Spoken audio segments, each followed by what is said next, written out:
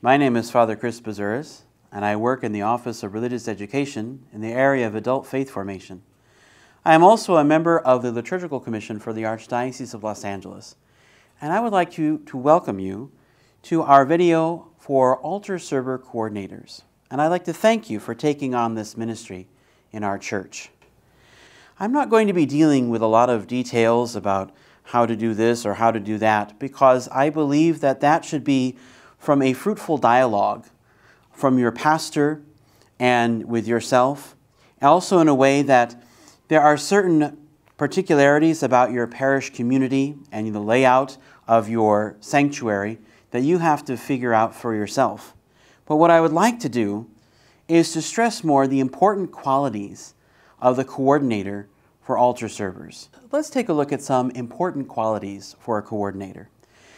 There are all sorts of qualities that could be helpful, but I believe that one of the best is flexibility. This could be the first ministerial experience for most children and youth in the church, the first time that they've been trusted with a task or some responsibility in their community. And so flexibility has to be part of how you work with them.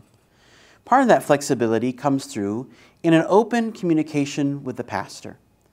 The pastor must be a part of this dialogue with you and the servers in how you understand what he asks, what he requires of them, and in how you can better serve the community at prayer. You also must realize that your role must be working in partnership with parents. Children and youth don't make the decisions of their lives on their own. They make it in conjunction with their parents, who ultimately set the tone and will allow or disallow what their children will do. So you must continue to work with the parents and have a great sense of communication with them so that that flexibility allows for the best way to serve the needs of the community. And that flexibility will also help you to learn how to engage children with diverse means of learning and ability. Not all children are the same. Not all learn the same. And you're dealing with a variety of ages, from anywhere as young as 8 to as old as 18. And so you must be able to adapt to the different learning methods that children have. This is also a great opportunity to talk about children with special needs. I've had many occasions where I've been a presider at a Mass and servers were present that had special needs, such as Down syndrome or autism, and yet they were fully able to carry out their tasks. And in that, I could see that those who prepared them and those who work with them show a great amount of flexibility and a desire to include everyone. This is an opportunity for us to extend to these young people a chance to participate in their community and in praising the Lord in a certain way. But along with flexibility comes another very important quality, which is patience. When you're working with children, you have to be patient. It must really be a constitutive element of who you are. Children need repetition and reminders. They need to be able to learn and make mistakes at their own, their own path, their own rhythm. And so that patience in being able to repeat and being able to continue to guide them will be so helpful. Sometimes just taking a quick minute to prepare yourself or being able to step back and say, What's going on in his mind right now? What is she thinking or not perhaps considering? can help you find the best way to work with them. And just remember, things will not always go as planned. And that doesn't mean that children can't be a part of this experience of liturgy, because we know that even with adults, things don't go as planned. And so, with children, they bring in a special element of that patience. Because we have to remember, we're not here to create perfect performers. We are here to form disciples. And part of liturgical ministry is forming a disciple who will take this, this moment to serve and share it with those in the world. And so, we have to find incentives and ways to reward their efforts and to continue to encourage them to follow their path in Christ. Now, some of these uh, elements can also be helpful when you're working with adults who also can serve in this ministry. Being an altar server is not relegated only to children.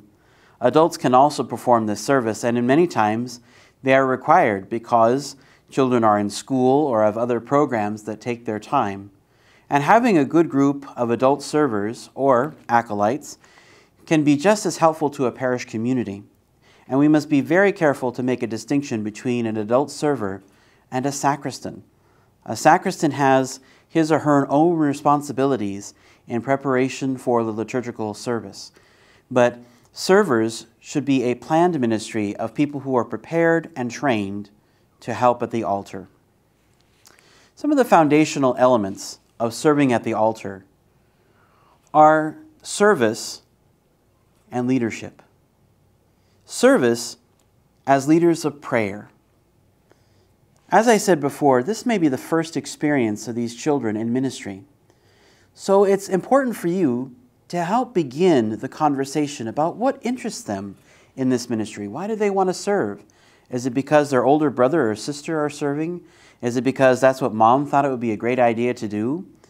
While these are not bad, it's important to help them develop a different foundation, one in which they see themselves as a key element in the worship service and a means by which they can praise God through their service.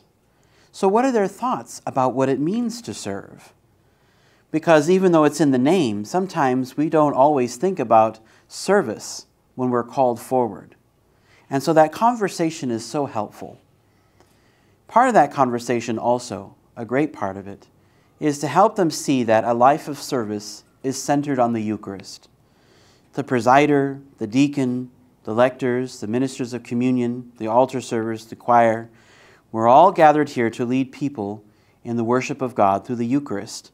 And so to concentrate their lives around the Eucharist gives them a solid foundation in their growth in faith. It's also important to help them understand that all ministers are leaders. And even altar servers can be called to lead the people in prayer. And this may not be something they've ever thought, but they're going to be visible, they're going to be present. They wear special clothing, they perform special tasks. So, in order for them to understand that, they must realize that they're going to be leading people in prayer. So their behavior, the manner in which they stand, in which they carry objects, the reverence they show in the celebration of the Eucharist has a great way of helping people to pray. On the reverse side, when they don't show those qualities, it's important for them to understand that they can also distract people from prayer, and that can certainly have a difficult effect on the community.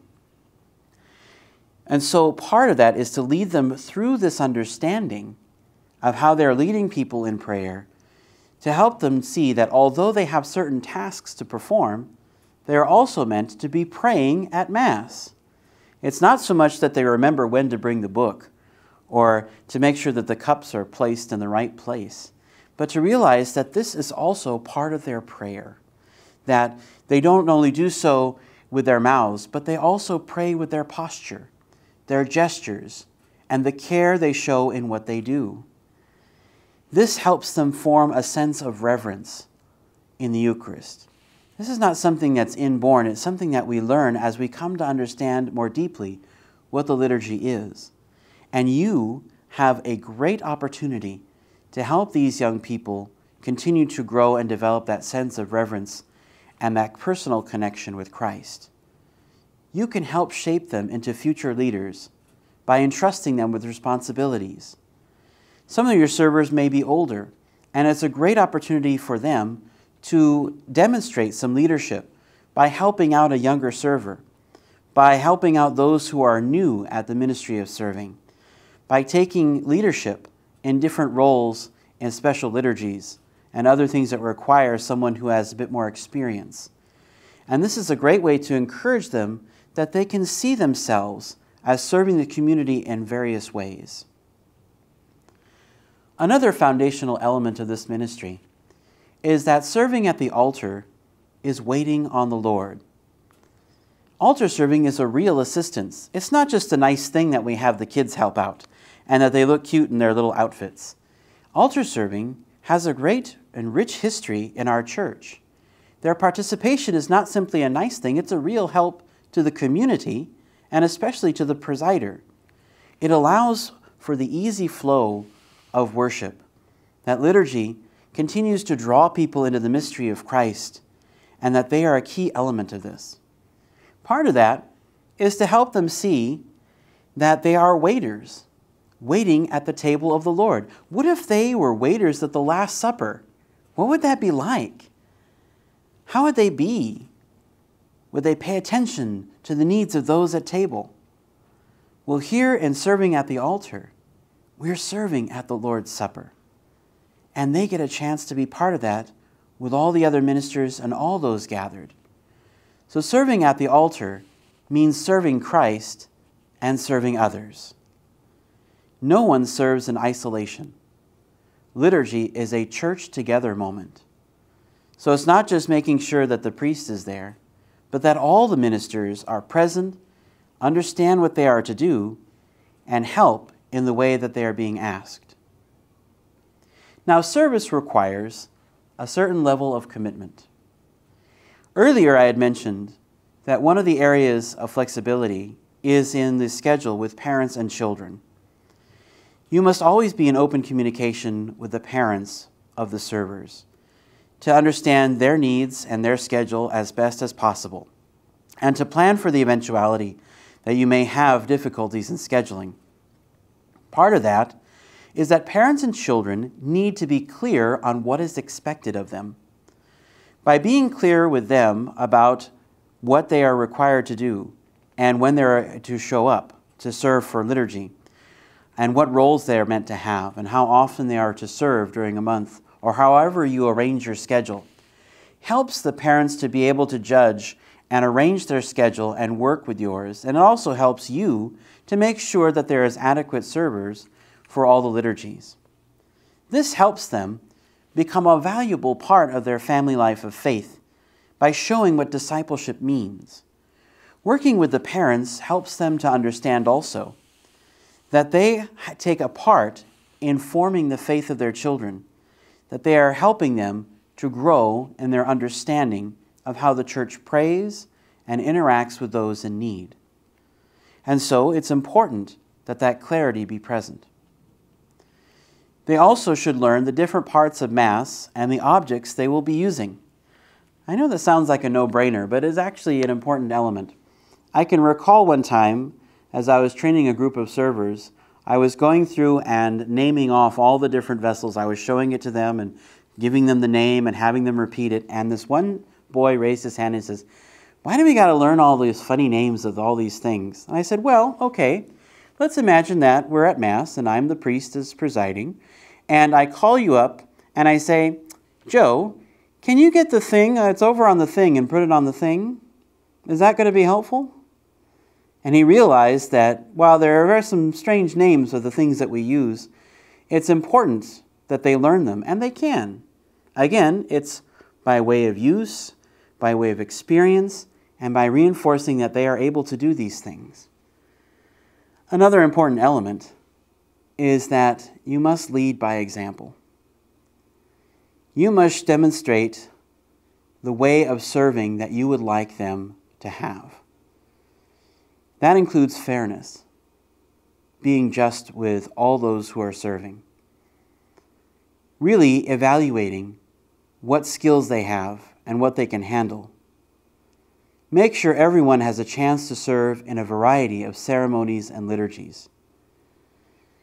Making sure that all people get a chance to share their gifts and their talents. You don't have to do this alone. You may have been asked to serve as altar server coordinator, but that doesn't mean that you have to do everything all by yourself. Having a group of parents or other volunteers can be very helpful. Sometimes forming a small group can just help you with a lot of things, such as calling those members who need to be reminded, being able to find substitutes. Uh, if you don't have a particular skill for scheduling and and uh, appointing and such as that, uh, the different servers and members of the team, then having someone who's really good at coordinating schedules would be an essential element to your team. This also allows others to bring their gifts to the table, to allow them a chance to take part in this. Part of that also is to connect with your religious education program in the school.